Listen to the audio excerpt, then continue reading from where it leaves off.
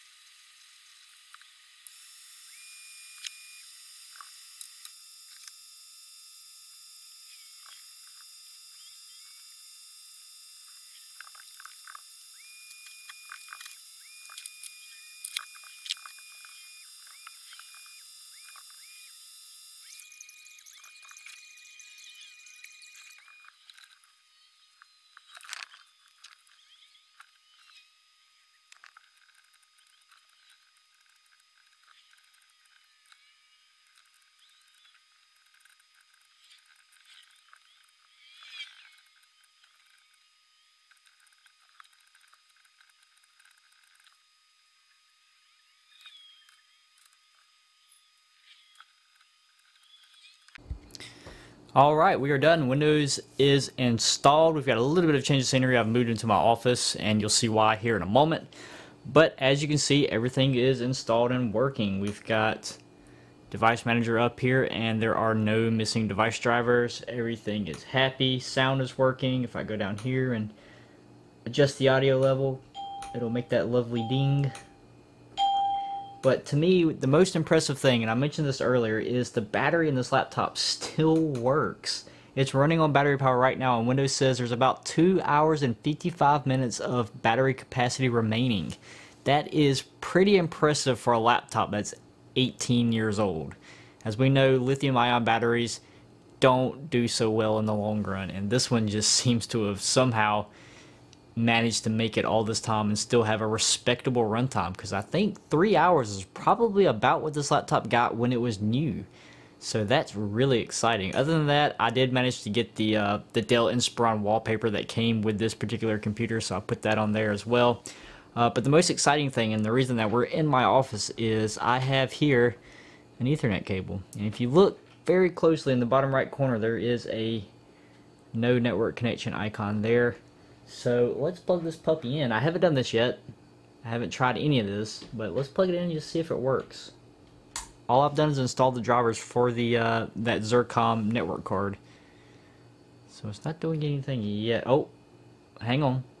Our no connection icon just disappeared. Let's let's open a command prompt and see if we can ping another device on my network.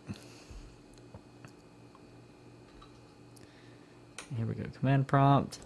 And let's do, actually let's do ipconfig.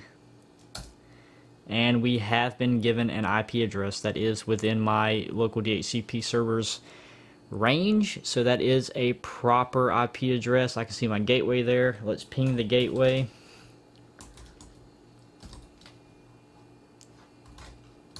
It's hard to type from behind the camera. There we go. And we are getting a ping response from the gateway this is exciting. Okay. I did launch Internet Explorer earlier just to get through the initial setup of it. I didn't have the network cable connected then, so obviously it didn't work. But now I should be able to launch Internet Explorer and it should load a web page. It's trying. I believe this is Internet Explorer 6. Let's check actually. Internet options. Um, think it's given up on loading this page. It says done, but I've got just a white page and also my internet options didn't show up. Come on, there you go. Um, actually, I don't think that'll tell us about which version this is. I think we have to go under help. Yep, there we go. About Internet Explorer. Oh, it's actually Internet Explorer 5, so even older than I thought. Interesting. I thought uh, Windows 2000 SP4 came with 6, but I guess I'm mistaken. Anyway, let's try going to a website.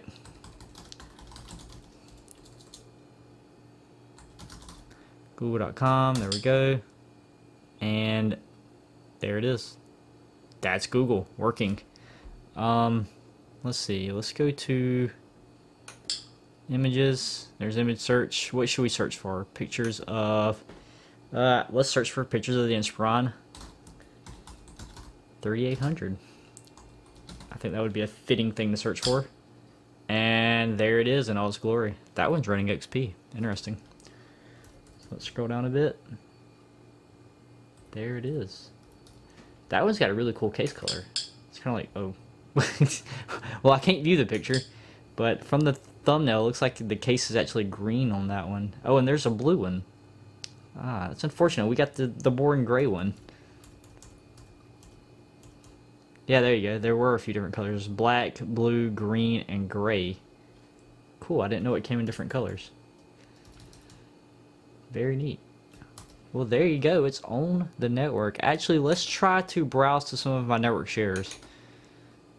Let's see here. Let's do alpha. There it is.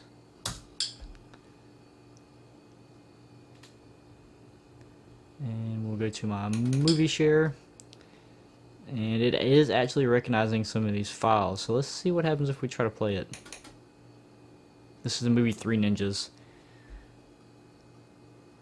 unable to download appropriate decompressor. Okay so apparently it can't read the file. Oh but it is playing the audio from this that's interesting. So just the audio huh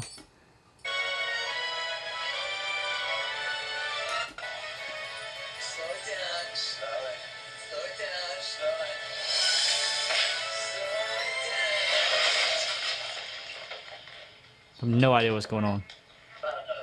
It's been a long time since I watched that movie. Anyway, that appears to be working appropriately.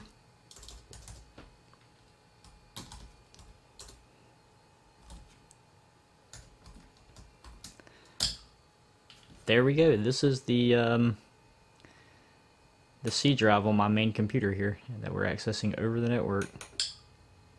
So there you go. That's a Windows 10 machine that we're looking at currently. It's funny that it recognizes some of the folders, like this offline web pages folders, and it gives it the appropriate icon. Downloaded program files, it recognizes that one as well. Very interesting. Well, there you have it. That is Windows 2000 installed on the Dell Inspiron 3800. Out of the two laptops that I showcased, the 3800 and the 4000, I definitely think I like the 3800 better, especially because it has that working battery.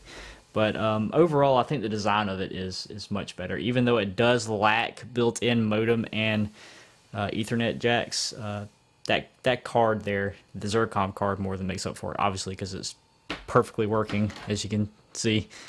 But uh, yeah, that's that's pretty much it. Thanks for watching, guys.